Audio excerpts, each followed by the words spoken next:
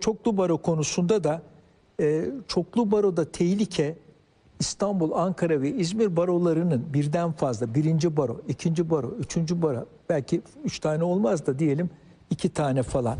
Bunlar avukatları bölen ve savunma e, mevzilerini zayıflatan, avukatlar arasında problemler yaratan, aynı zamanda iktidarın tercih ettiği baro, tercih etmediği baro gibi tehlikeler yaratan şeyler. Ama ben FETÖ'nün, PKK'nın bir baro kurma tehlikesini e, kesinlikle görmüyorum. Çoklu baro çok büyük yanlış. Hükümet bu yanlışa girdi, meclis bu yanlışa girdi. Maalesef bu kanunu çıkarttı. Ama arzu edilir ki şimdi bu- avukatlar bu yanlışı düzelsinler, kendi barolarının birliğini korusunlar, yeni yeni barolar üretmesinler. Peki.